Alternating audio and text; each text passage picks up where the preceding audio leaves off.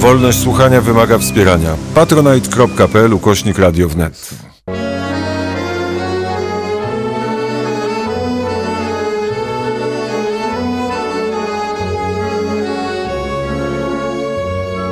Kronika paryska. I Piotr Wit. Dzień dobry panie redaktorze. Witam pana, panie prezesie, witam państwa.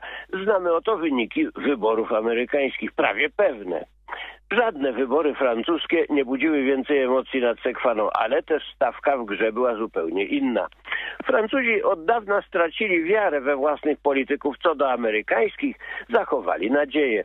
Podczas wyborów regionalnych, parlamentarnych, a nawet prezydenckich zainteresowanie ożywiała ludzka ciekawość, kto otrzyma lepszą, a kto gorszą posadę. Stawka francuska w wyborach amerykańskich ma inny ciężar gatunkowy. Kto będzie nami rządził? Nami to znaczy Francuzami. Aż do odwołania Stany Zjednoczone rządzą światem i kierują Unią Europejską. Mamy komputery i telefony produkcji japońskiej, koreańskiej, chińskiej, fińskiej, ale wszystkie działają dzięki systemom informatycznym i patentom amerykańskim. Microsoft jest amerykański, Windowsy także. Wszystkie media społecznościowe są amerykańskie. Facebook, YouTube, Instagram, WhatsApp, Twitter. Decyzje strategiczne państwa francuskiego podejmuje amerykański gabinet konsultingowy McKinsey. W ostatnich dniach nawet debata nad budżetem przyszłorocznym zaszła w parlamencie na dalszy plan, chociaż jest o czym mówić. Przed powołaniem nowego rządu światli komentatorzy życia politycznego różnili się opiniami. Pesymiści wyrażali przekonanie, że Francja gospodarczo już zbankrutowała, optymiści, że nastąpi to dopiero w najbliższym czasie. Czy rzeczywiście nastąpi?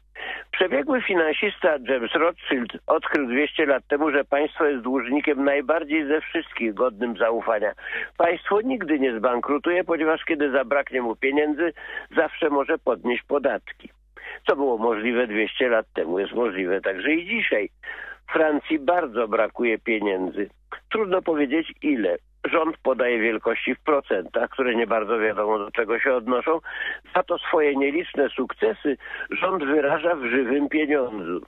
Właśnie dzięki genialnym zabiegom Ministerstwa Finansów udało się zebrać w ciągu ostatniego kwartału oszczędności w wysokości 20 miliardów euro. Kwota olbrzymia która jednak maleje, zrelatywizowana w oparciu o inne dane. Deficyt finansowy Francji za rok bieżący wyniósł prawie 170 miliardów euro. 20 miliardów oszczędności to byłby mimo wszystko dobry pierwszy krok.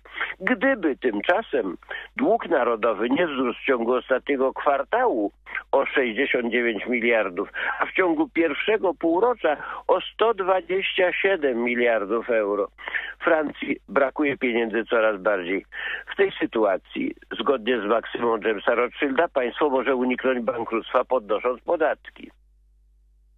Tyle, że podatków nie można więcej podnieść w państwie najwyżej opodatkowanym na świecie.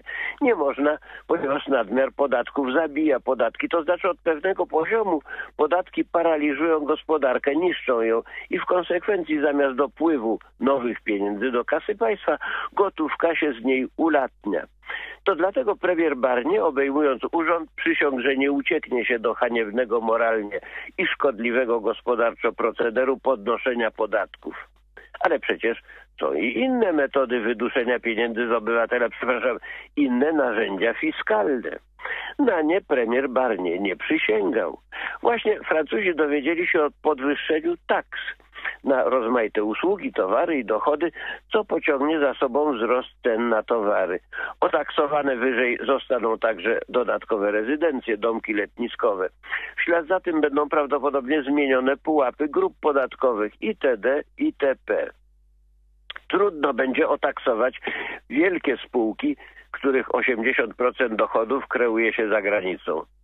Taksy mają więc przynieść 30 miliardów. Cała ta oszukańcza gra, żonglowanie słowami, nazwami, rachunkami nie poprawi stanu gospodarki francuskiej, ale uratuje na pewien czas wysokie zarobki rządu i kasty urzędniczej oraz związane ze stanowiskiem możliwości dokładania do pensji. W Bank de France nie ma pieniędzy.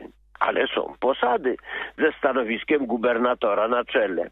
Pan François Villeroy de Gallo do pensji rocznej 663 847 euro dostaje 75 tysięcy dodatku na mieszkanie. Zwyczajny obywatel opłaca mieszkanie z pensji. Naród, który nie wdaje się w skomplikowane spekulacje teoretyczne, zadaje sobie wiele pytań. Dlaczego, pyta obywatel, za żarówkę, która w detalu kosztuje od 3 do 5 euro, państwo, jeżeli ją kupuje, płaci 25 euro? Dlaczego za lampę biurową w detalu 20 państwo płaci 80? Dlaczego za krzesło biurowe wartości 15 państwo płaci 60? Jak to się dzieje, pyta obywatel, że biedne państwo francuskie za wszystko płaci cztero, pięcio, dziesięciokrotnie drożej. Dlaczego aparat słuchowy wartości 300 kosztuje we Francji 4000? Gdzie podziewają się te nadwyżki cen? Do czyjej trafiają kieszeni? Straty mniejsze, gdy idzie o krzesła biurowe i żarówki, ale tam, gdzie w grę wchodzą samoloty, statki, a przede wszystkim systemy informatyczne, sprawy robią się poważne. Czyżby te nadwyżki były rozkradane? Czyżby w poważnej, starej demokracji francuskiej podział dochodu narodowego dokonywał się drogą ordynarnej kradzieży, jak niegdyś w Związku Radzieckim? Wierzyć się nie chce. A jednak pozory skłaniają do podejrzeń. A więc wszystko stracone, bankructwo jest nieuchronne? Mark Tuati sądzi, że niekoniecznie. Znany ekonomista, teoretyk i praktyk, agent giełdowy, wskazuje na możliwość trwałego uzdrowienia gospodarki. Wystarczy, mówi, obniżyć, to jest wykonalne, koszty funkcjonowania państwa o rząd 50 miliardów. A żeby to uczynić, wystarczy czytać raport Trybunału Rozrachunkowego, który każdego roku opisuje rozmiary marnotrawienia pieniędzy publicznych. Odtłuścić administrację, źródło marnotrawstwa. Walka z oszustwem podatkowym przyniesie 30 do 50 miliardów. Walka z oszustwem socjalnym 15 do 40. Niestety konkluduje Tuati, z ekipą rządową rozszerzoną do 39 osób, wydatki publiczne nie zmaleją, a deficyt nadal będzie rosnąć. Jak zaznaczył premier Barnier, każda drobna oszczędność, każdy nawet drobny wpływ do kasy państwa zostanie rozpatrzony. Minister kultury podjęła inicjatywę. Pani Rashida Dati zaproponowała wprowadzenie opłat za wstęp do katedry Notre Dame.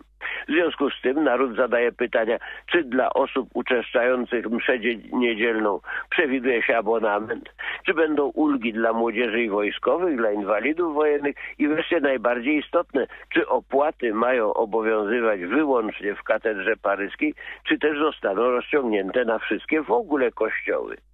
A meczety i synagogi? Zapytują ciekawscy. Tymczasem mój fryzjer pojechał do Mekki.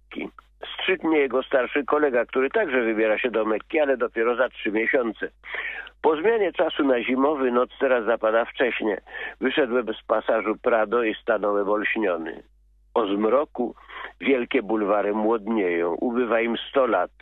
Pod ogromną markizą antykwariatu Bulimie przy bulwarze Bon w pomarańczowym świetle lamp bibliofile krzątają się przy straganach ze starymi książkami.